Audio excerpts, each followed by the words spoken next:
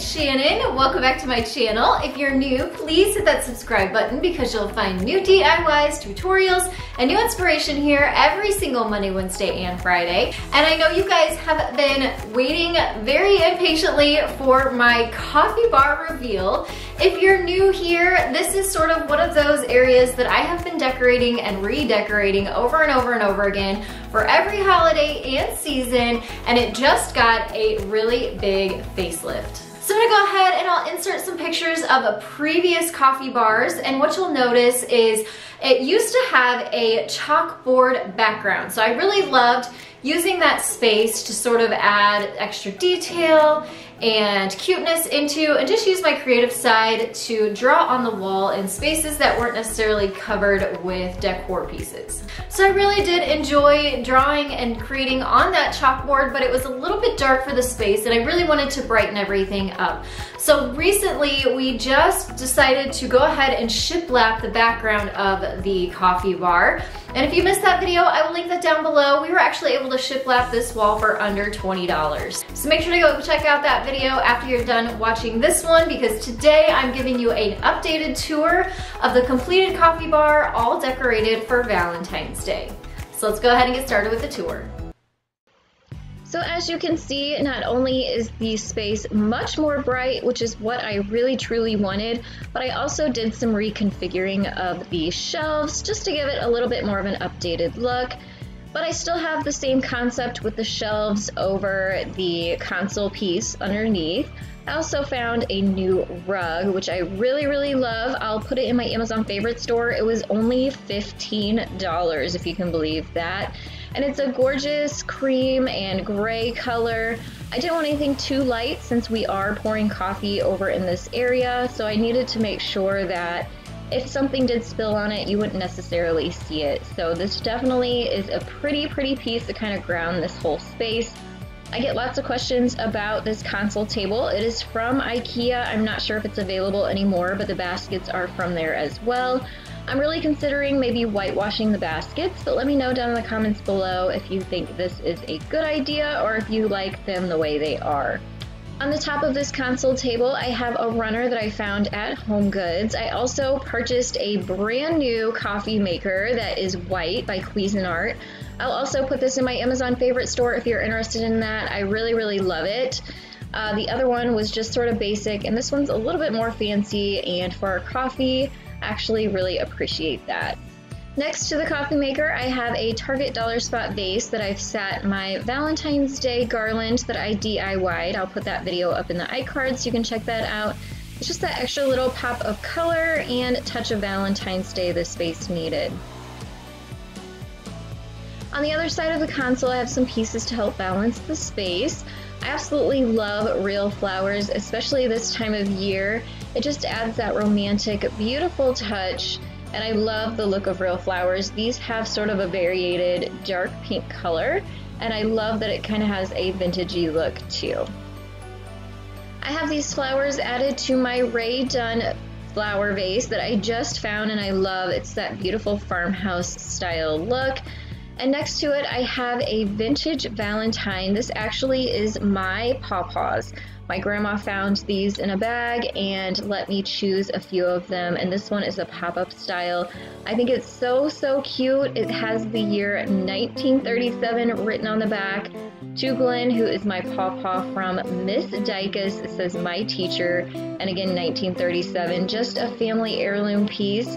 I have some more of his Valentines that I've added to a garland in the entryway, and I'll show you that a little bit later in this video.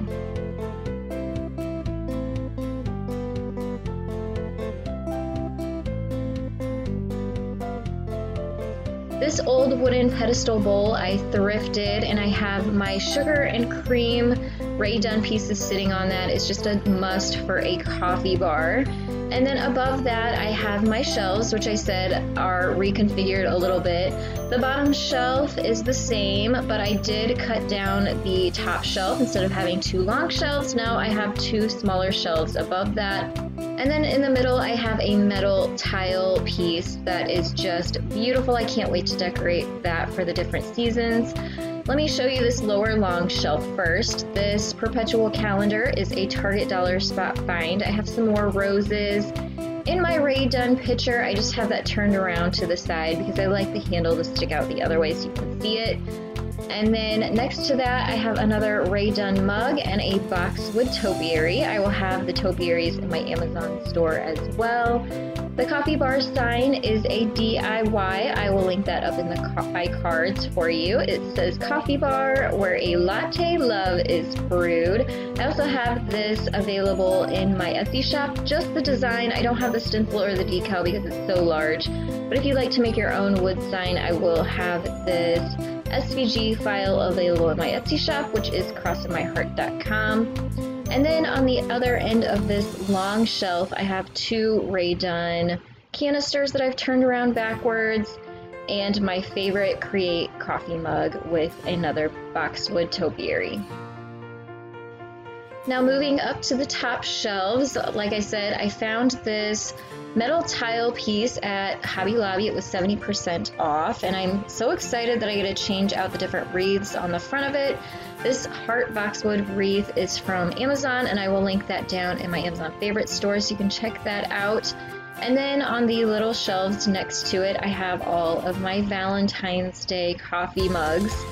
And I'm sure you're going to ask about these little pedestals that my heart mugs are sitting on. Those are from the Target dollar spot. I want to say they were only a dollar each, and I really wish I would have bought many, many more because they are so, so cute. I don't know if they have them again, but hopefully soon they will have some more so I can grab them. I absolutely love them. And here's just kind of an overall look of the coffee bar and the new look, and it updated with little touches of Valentine's Day pieces and then all of the pieces just really come together to make a beautiful space within our kitchen.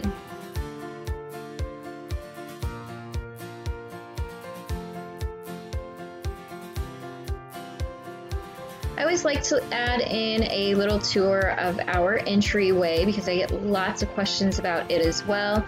The sign at the top is from Hobby Lobby uh, last year. I have Mixtiles, which are the photos that are repositionable on the wall. The hooks are from Hobby Lobby and I made that little hook board. And then I get lots of questions about this bench. It is a true trash to treasure that I found on the side of the road and brought back to life. And then I have uh, this garland that I made. So it's just craft paper hearts. And then I have the rest of the Valentines that were my pawpaws from the 1930s that I just clipped on with some mini clothespins that I had from the Dollar Tree.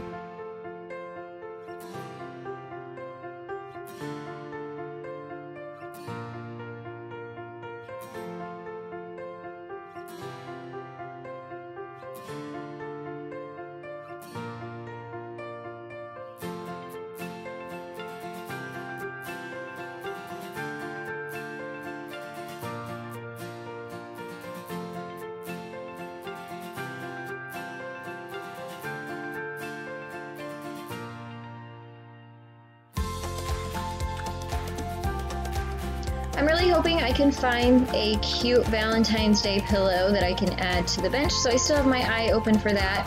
The pillows that you see here are from Kirkland's and the rug is from IKEA. So that's pretty much a look at my Valentine's Day decor for the kitchen and then also a new look at the updated coffee bar that went from a chalkboard wall to now shiplap.